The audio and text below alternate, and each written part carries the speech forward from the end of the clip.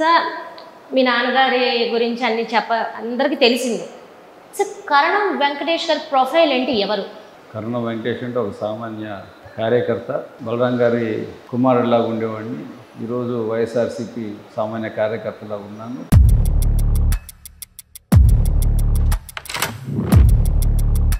వెంకటేష్ గారు ప్రజల్లో అన్నాదమ్ముల్లాగా కలిసిపోయి మమేకం అవుతున్నారని అంత షార్ట్ టైంలో అంత దగ్గరగా ప్రజల్లోకి ఎలా వెళ్ళగలిగారు? మనం ఎలా ఉంటామో బయట అలా ఉంటే సరిపోతుంది ఒక పొలిటీషియన్ అంటే మనం ముందు ఒక మేకప్ వెనకాల ఒక మేకప్ వేసుకునే పని లేదు.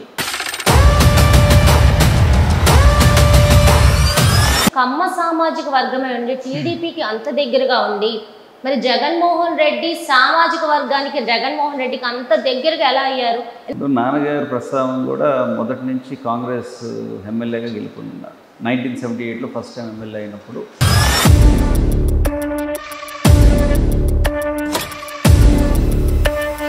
ఇంత జరిగిన టూ థౌజండ్ ఫోర్టీన్లో అద్దంకిలో సభ చాలా గ్రాండ్గా చేశారట అది.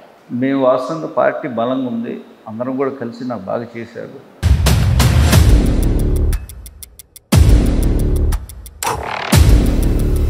అంటే టీడీపీ సంబంధించి అధిష్టానం మిమ్మల్ని నిర్లక్ష్యం చేయబట్టే మీరు వైఎస్ఆర్సీపీ పార్టీలోకి వెళ్ళారా? రెండు వ్యత్యాసాలు చెప్తాను. టూ థౌజండ్ నైన్టీన్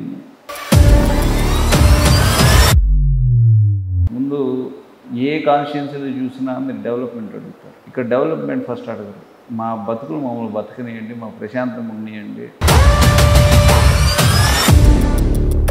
ఈ ఫైవ్ ఇయర్స్లో మీరు దాన్ని ఎంతవరకు మార్పు తీసుకొచ్చారు? ఈ ఐదేళ్ళలో ఎవరి మీదన్నా కేసులు పెట్టారా?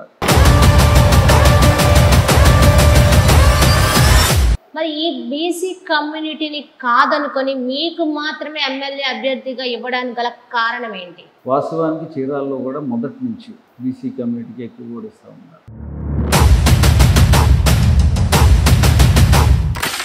మరి మీరు టీడీపీ లోకేష్ గారితో అంతగా ఉండి ఈరోజు వైసీపీకి వెళ్ళారు కదా మీ కమ్యూనిటీలో మరి మీ వాళ్ళు ఏమంటున్నారు? కమ్యూనిటీ వైజ్ అనుకుంటే దాని గురించి నేను పెద్ద చెప్పాల్సింది ఏం లేదు.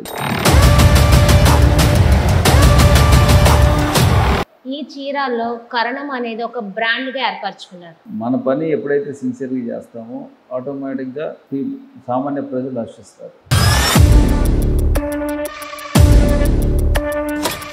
అపోజిషన్ ఎమ్మెల్యే అభ్యర్థిగా పోటీ చేస్తున్న ఎంఎం కొండయ్య గారే కానీ ఆమంచి కృష్ణమోహన్ కానీ రాక మీకేమన్నా వీళ్ళ వల్ల నేను టెన్షన్ అనేది వస్తుందా? గెలుస్తామా లేదా అని?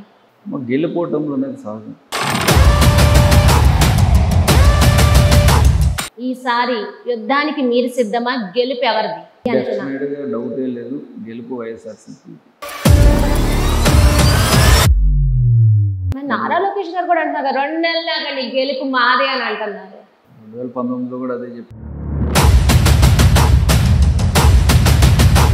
నూట డెబ్బై ఐదు నియోజకవర్గాల్లో చీరాల నియోజకవర్గంలో ఉన్న కరణం వెంకటేష్ గారి ఈ యుద్ధానికి అయితే సిద్ధమా? నేను సిద్ధం కాబట్టి ఎడుగుతున్నాను